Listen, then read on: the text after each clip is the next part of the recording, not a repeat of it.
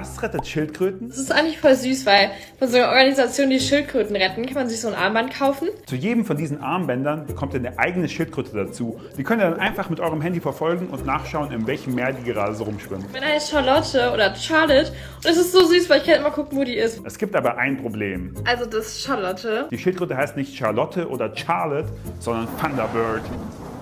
Die echte Schildkröte Thunderbird hat eine krasse Reise hinter sich. Die wurde im Mittelmeer gefunden, da hatte sie sich in einem Fischernetz verheddert, wurde dann aber befreit, aufgepäppelt, mit einem Peilsender versehen und dann wieder freigelassen. Und dann hat irgendein Hersteller von diesen Plastikarmbändern gedacht, das Bild klaue ich mal, spiegel es und verkaufe euch eure eigene Schildkrötengeschichte. Also leider keine eigenen Schildkröten uns.